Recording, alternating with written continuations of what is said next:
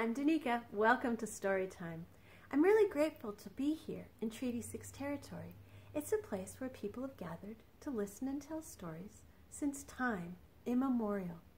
It's the home of the Cree, the Dene, the Lakota, Nakota, Dakota, and Saulteaux peoples. It's also the homeland of the Métis. We're always so grateful to be here.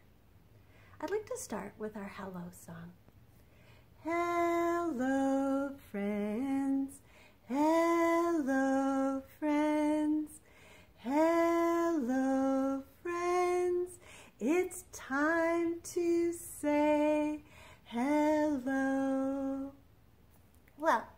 Summer's almost over, but I've been thinking a little bit about travel. And sometimes when we can't travel in real life, we can travel in books or songs. I have right here a big map of Saskatchewan. You may have seen one of these in the car, but not very many people use these anymore because we have gadgets like GPSs and phones that talk to us and tell us exactly where we have to turn. I remember when I was little and we had to pull out the map and look at Saskatoon and then decide which road we were going to take to go wherever we wanted to go. So if we get on the road from Saskatoon and drive up to Prince Albert and then turn a little bit, we can go up to Waskesiu. We can start in Saskatoon and we can drive down this highway and get to Regina. Sometimes we get on the road to visit people that we love. Sometimes we go to explore new places. Sometimes we just look at the map and follow those roads with our finger and think about all the cool places all over Saskatchewan and even all over the world. This is Carson Crosses Canada by Linda Bailey, illustrated by Kass Reich. Annie Magruder and her little dog Carson lived in the town of Tofino. Every day they walked beside the great Pacific Ocean. They loved the salt air. They loved their red house and they loved their sweet life together. Then one day Annie got a letter. Pack your suitcase, she told Carson. My sister Elsie's sick and she needs cheering up. Carson didn't have a suitcase, but he got very excited when Squeaky Chicken went into the car. Annie packed camping gear and dog food. She filled a cooler with bologna sandwiches. Then she and Carson piled into the car and drove east. All morning they drove in the rattlebang car. Carson scratched at the door. Were they there yet? Oh, no, said Annie. It's a very long way, all the way across Canada. But there's a surprise when we get there. For you, Carson. Carson loved surprises. Squeaky Chicken had been a surprise. Every time Carson chewed, he got a brand new noise. Shree!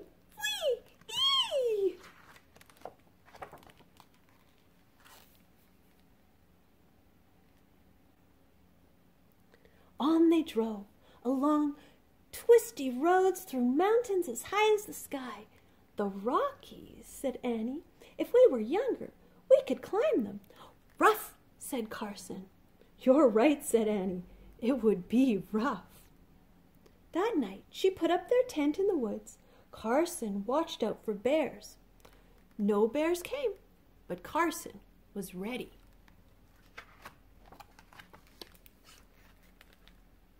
They rolled on down to a land of lumpy lumps. Hoodoos, said Annie. This is dinosaur country. When Carson saw the giant bones, he got very excited. Was this his surprise? But before he could take a single bite, Annie dragged him away. Settle down, boy, she said. Carson had never imagined a bone could be that big. Next day, the land flattened out. Grain grew in carpets, yellow, blue, gold. Oh my, said Annie when they stopped for lunch. Will you look at all that sky? But Carson was looking at the ground. There were grasshoppers everywhere. It took most of his lunchtime to catch one. He had it for dessert. That looks like home. And they do call Saskatchewan the land of living skies. The next day was a scorcher. That's what Annie said. The sun beat hard on the highway. Carson drooped all over. When he saw the lake, he was so happy he tried to leap out the window. Annie held him back. Hang on, boy, she said. Soon they were both in Lake Winnipeg. Carson dog paddled up to Annie and gave her a lick on the nose. For one cool blue moment, they were exactly the same size. After that, there were days of rocks and trees. Carson thought the trees would never end. He barked and barked out the window. Where was his surprise? Annie gave him a pat. It's still a long way to Elsie's. That night they listened to the loons. Hoo hoo, hoo hoo hoo. Oh my, said Annie. Canada, such a grand land to cross. And then came a grand sight indeed, a wall of water thundering down a cliff. Carson yapped in amazement. He was used to water that stayed flat. He and Annie watched till they were soaked all over. Then Annie went to buy a souvenir of Niagara Falls. Carson found a grassy spot and left a little souvenir of his own.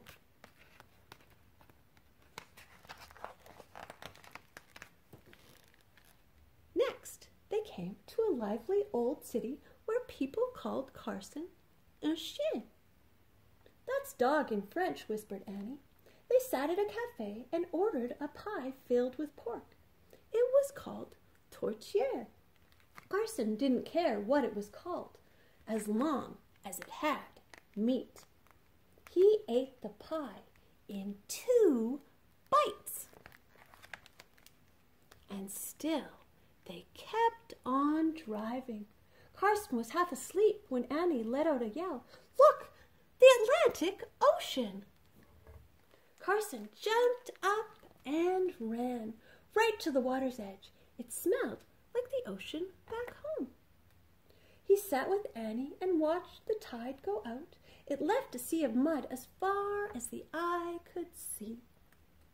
Oh no, called Annie suddenly. Carson, don't you dare! But Carson couldn't help himself. He rolled all over the seabed. Best mud ever.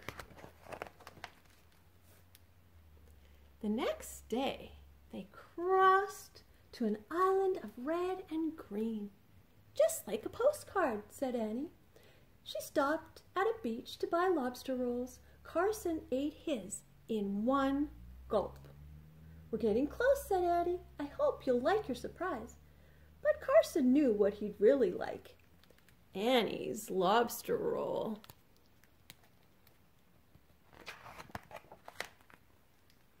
We're almost there, said Annie as they left the island. In the campground that night, there was fiddle music. So friendly and fast it made everyone dance. Annie clapped and jigged. Carson chased his tail. Tomorrow, whispered Annie, as they snuggled in their tent.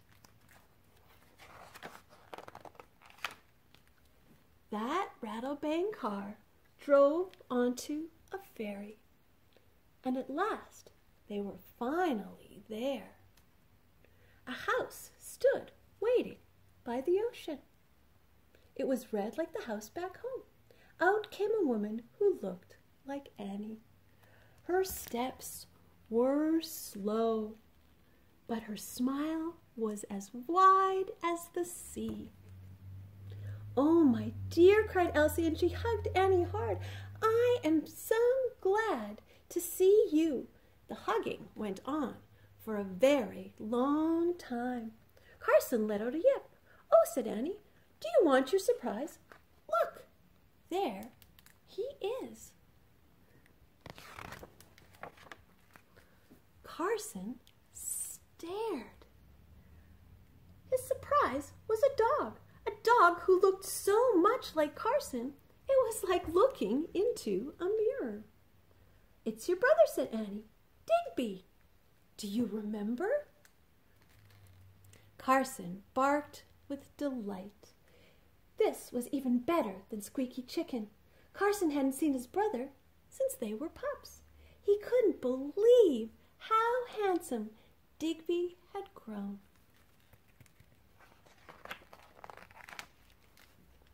As they unpacked the Rattlebang car, Elsie smiled. She said seeing Annie and Carson was the best medicine in the world. In the days that followed, they walked together beside the great Atlantic Ocean. Annie and Elsie, Carson and Digby. They loved the salt air. They loved the red house. And they loved their sweet time together. It was grand. Wow, that book took us on a trip across the whole country. Now, sometimes we go places in our cars, and sometimes we go places in our imagination. And there isn't a map to the moon exactly, but people have directions, and at the library we sing a little song that talks about going to the moon. It starts with our rocket engines. We can get them going. Zoom, zoom, zoom, we're going to the moon. Zoom, zoom, zoom, we'll get there very soon. If you'd like to take a trip, climb aboard my rocket ship. Zoom, zoom, zoom, we're going to the moon in five, four, three, two, one, blast off! Fun, fun, fun, we're going to the sun. Fun, fun, fun, we're going to the sun.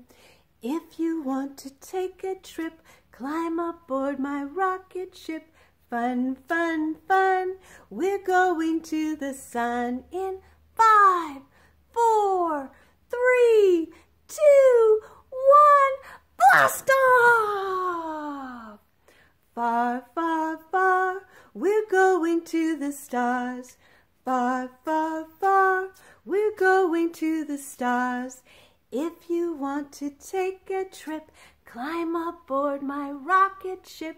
Far, far, far, we're going to the stars in five, four, three, two, one, blast off! Thank you. All right, let's see.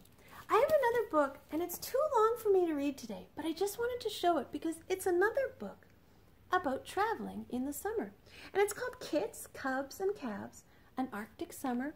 It's by Suzie Napayok-Short, illustrated by Tamara Campeau. And it's the story of a young person who goes to visit their grandparents in the Arctic. And it's absolutely beautiful with a really nice story. And it looks like so much fun. And her grandparents have these wonderful, wonderful things to do, like recording the sounds of the animals. And they go out to the water and they see some whales, the beluga. Look at that. And I just want to show you one more picture from this book. Because sometimes there are books that I like to look at the pictures over and over again. And can you see that there? That would be a super adventure. I wish I could go on an adventure where I could see polar bears. So maybe that's a book that you'll take out of the library. Okay, I have another book to read today, and it's called We Are All Under One Wide Sky. It's by Deborah Wiles, illustrated by Andrea Stegmaier.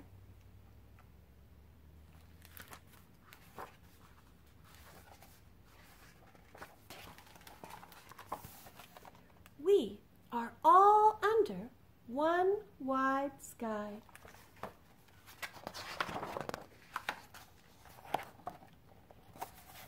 Two clouds glide by. One, two,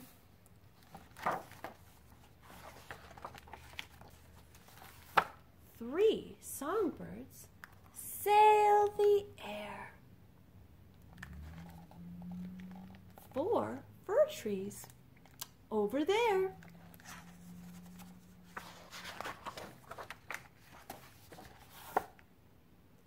Five feathers from a nest. Six tulips bloom their best.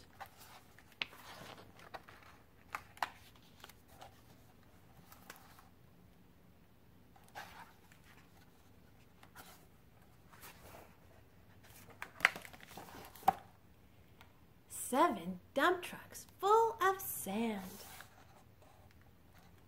Eight bumblebees make a band. Nine clovers for a crown. Ten whirligigs spinning round.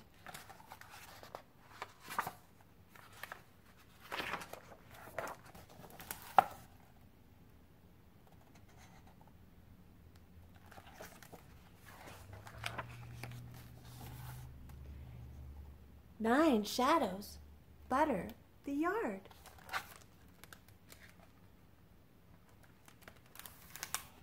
Eight fence posts standing guard.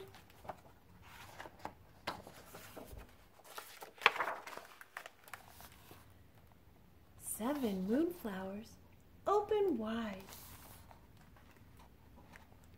Six crickets creep inside.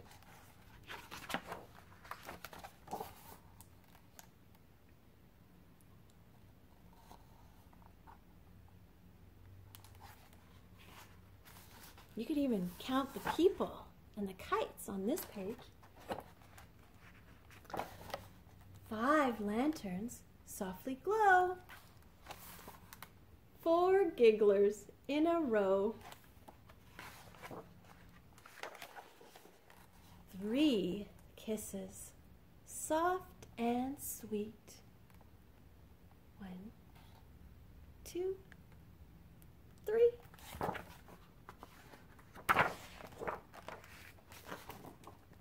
Two sleepyheads fall asleep under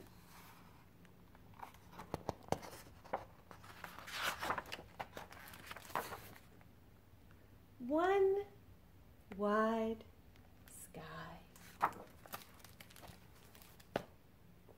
Well, there's so many places we can go. We can take a map and drive down the road. We can take a walk around our block and look for things that we could count, like in this book. Or we can use books to travel anywhere in the world or anywhere imaginary. Thank you for being here at Storytime today. We'll just end with our goodbye song. Goodbye, friends. Goodbye, friends. Goodbye, friends time to say goodbye.